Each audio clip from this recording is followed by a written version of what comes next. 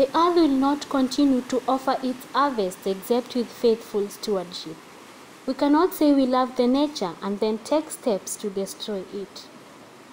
Nature is painting for us day after a day pictures of infinite beauty. Like music and art, love of nature is a common language that can transcend political and social boundaries.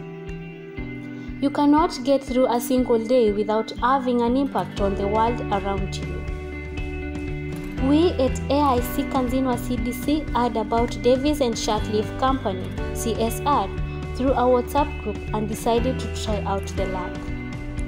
After much research about the CSR, we were lucky enough to get a link whereby we filled the required details. It was after a month when we received the good news from Davis and Shirtliff Company that our request had been approved.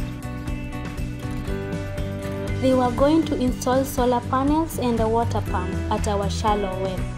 Through this, we would save a lot since we had been using approximately 100,000 Kenyan shillings annually to fuel a generator.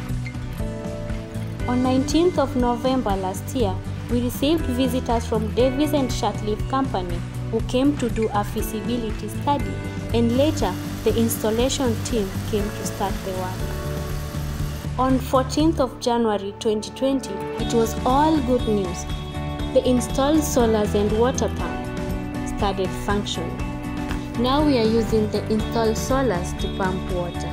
No more expenses on fuel. We got new initiatives coming up as a result of having water at our FCP. We are going green.